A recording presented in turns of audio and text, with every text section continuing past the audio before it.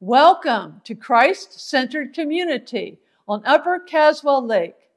May our time together learning about God and His expectations of us be a mighty blessing to you. Let us pray. Heavenly Father, thank you for sending your Son into the world that we might be in a relationship with you, that we might get to know you, and that we might bring you glory. May we each be receptive vessels to that which you want to bless us with this day from your written word. May the Holy Spirit use this message to help people come to the realization that with Jesus, they never have to walk alone.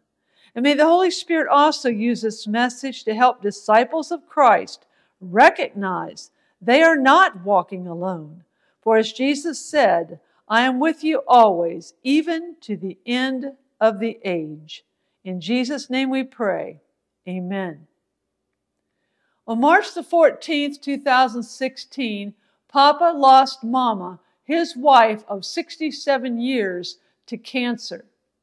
For 67 years, he was a we with her, after which he felt like an I once again.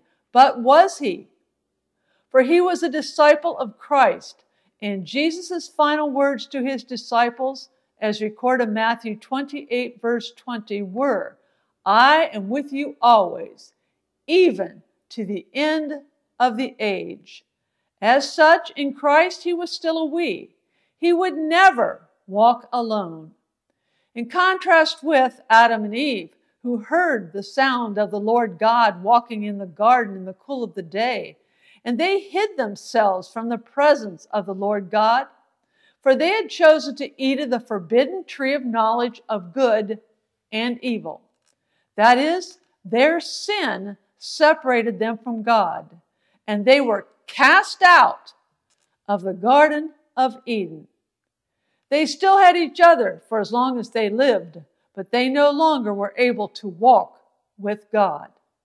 The question is are you walking with Jesus or have you chosen to walk alone? Our text for today might aid you in answering that question.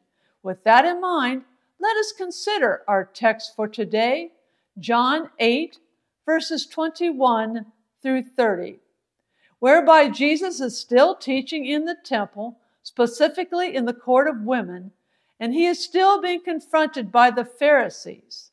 In other words, he is just where we left him in last week's sermon in our walk through the gospel according to John sermon series. Again, he said to them, I am going away, and you will search for me, but you will die in your sin. Where I am going, you cannot come. Then the Jews said, Is he going to kill himself? Is that what he means by saying, Where I am going, you cannot come?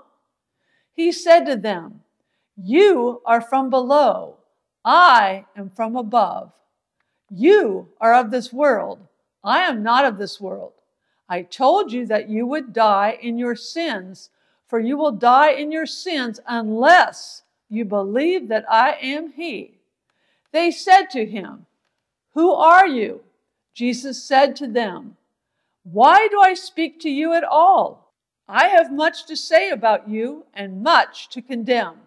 But the one who sent me is true, and I declare to the world that I have heard from him. They did not understand that he was speaking to them about the Father. So Jesus said, When you have lifted up the Son of Man, then you will realize that I am he, and that I do nothing on my own but I speak these things as the Father instructed me. And the one who sent me is with me. He has not left me alone, for I always do what is pleasing to him. As he was saying these things, many believed in him. With respect to the question, are you walking with Jesus or have you chosen to walk alone? Our text for today provides three signs one is walking alone unbelief, without purpose, without pleasing. We'll begin our discussion with the first sign unbelief. In verse 21 of our text for today, Jesus states his premise or statement of fact that the Pharisees would die in their sin. Thus, where he was going, they could not go. Then in verses 23 through 24, he presents his arguments in support of his premise. Why? Because you are from below, I am from above. You are of this world, I am not of this world. That is, the Pharisees would die in their sin, for an insurmountable barrier separated them unbelief.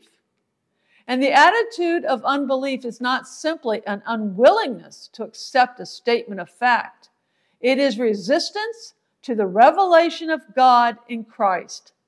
Not only did they repudiate his claims, they completely rejected his person. That is, they didn't just reject his claim that they would die in their sins, they refused to have anything to do with him. They refused to acknowledge him and they rejected him. In so doing, they rejected the truth revealed by God the Father in the person of his Son. They were so close minded that they totally missed the fact that God was walking among them in the person of his Son. How about you? Are you going to die in your sins? For without Jesus, one will die in their sins. The story is told of a man walking in his neighborhood when he came face to face with death. Death was obviously shocked to see the man, but said nothing. The two simply passed in the street. But the more that the fellow thought about this strange meeting, the more frightened he became. So he went to a wise friend and asked what he should do. The friend told him that death had probably come to take him away the next morning. He had better flee. So the man headed to a distant city to elude death. He traveled treacherous streets, slickened by snow, roads rarely used at night because they wound through steep mountain passes. But he survived the terrible journey and congratulated himself on having escaped. As he watched the sunrise, however, death tapped him on the shoulder and said, I have come for you. What are you doing here? exclaimed the terrified man. I thought I saw you yesterday near my home. Yes, you did, said Death. That was why I looked surprised, for I had been told to meet you today in this city. That is an obvious parable for how we cannot cheat death. It reminds me of the inscription on the tombstone Pause, stranger, when you pass me by. As you are now, so once was I. As I am now, so you will be. So prepare for death and follow me. Someone scratched into the weathered cement these two additional lines To follow you, I'm not content until I know which way you went. Benjamin Franklin wrote a friend Everything appears to promise that it will last, but in this world, nothing is certain but death and taxes. Death cannot be avoided. The cryonics Institute in Michigan will freeze your body if you pay them enough. They advertise when future medical technology allows, our member patients hope to be healed, rejuvenated, revived, and awakened to a greatly extended life in youthful good health, free from disease or the aging process. Such dreams are silly and foolish. Instead, the Bible in Hebrews 9, verse 27, tells us the truth. It is appointed for men to die once, and after this comes judgment. Everyone dies and everyone faces judgment. Which way we go depends on whether we die in our sin or in the Lord. These are the only options As stated in verse 24 of our text for today, belief in Jesus is the way to die without our sins and in the Lord. Belief in Jesus also provides the means to walk with the Lord and not walk alone. Which brings us to the second sign one is walking alone, included in our text for today. That is, without purpose. In verse 26 of our text for today, Jesus said, He who sent me is true, and the things which I heard from him, these I speak to the world. In verse 28, Jesus said, I speak these things as the Father taught me. And in verse 29, Jesus said, For I always do the things that are pleasing to him. It is apparent from these verses that Jesus' life had purpose and methodology. He listened for his Father's voice. He heard from his Father, and he spoke that which he heard. He was expectant, he heard, and he obeyed. He had a purpose driven life. And pleasing his Father gave his life meaning. Such should also be the case for a disciple of Christ. That is, one who believes in Jesus and follows the teachings of Jesus Christ. Disciples of Christ, having been commissioned by Jesus, as recorded in Matthew 28, verse 19, to go, therefore, and make disciples of all the nations, baptizing them in the name of the Father and the Son and the Holy Spirit. That is, disciples of Christ have been assigned a role to play in God's cosmic plan to redeem the world he loves. They are to listen for the voice of the Holy Spirit that dwells within them. And when they hear from the Holy Spirit, they are to cooperate with the Holy Spirit to do God's bidding. Purposefully acting and speaking in accordance with the directions of the Holy Spirit in God's timing, thereby bringing glory to God. Like Jesus, to be expectant, to hear, and to obey. As Jesus had an abiding relationship with his Father, and there was a oneness between Jesus and his Father, there should be an abiding relationship between a believer and Jesus and a oneness between the believer and Jesus. That abiding relationship and oneness are made possible by the Holy Spirit that dwells within the believer and together bearing fruit for the kingdom of God. Such purpose is found in Jesus. How about you? Does your life have purpose? If not, purposefulness can be found in walking in tune with the Holy Spirit to do God's bidding. Which brings us to the third sign one is walking alone, included in our text for today.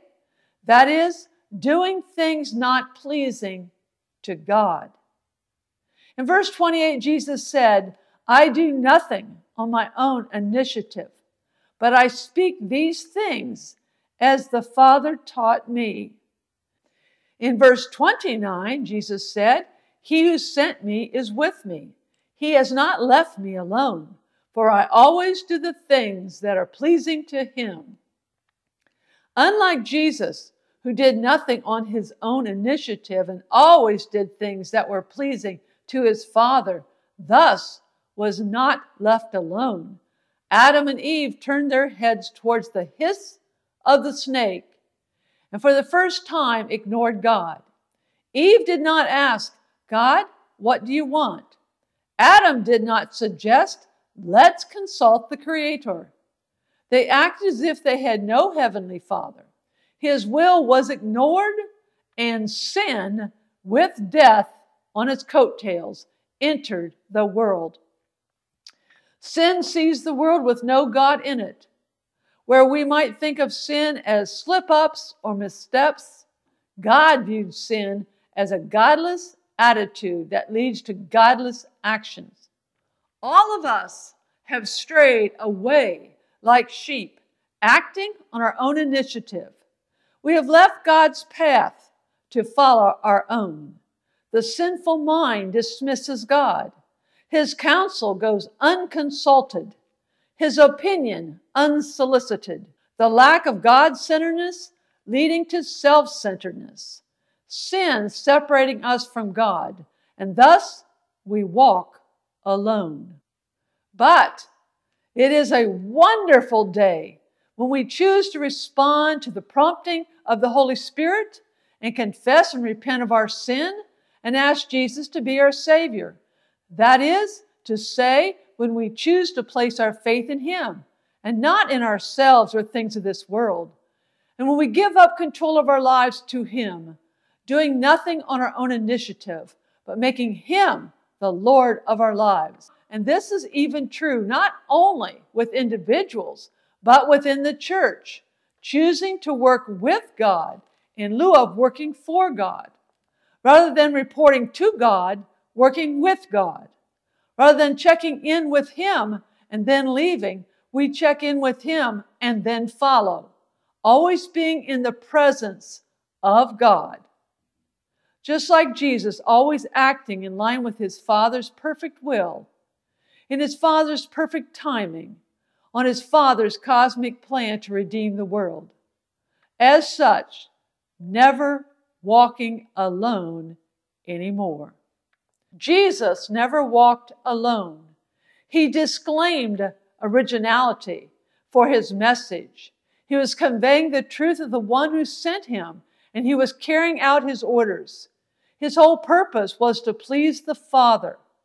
His utter devotion produced a purpose filled life of complete holiness. Neither do we have to walk alone if we choose to put our faith in Jesus if we choose to play the role assigned in God's plan to redeem the world He loves, and if we choose to be expectant, to listen, and to obey the guidance and direction of the Holy Spirit, never acting on our own initiative, but cooperating with the Holy Spirit to do God's will in God's perfect timing, thereby bringing glory to God.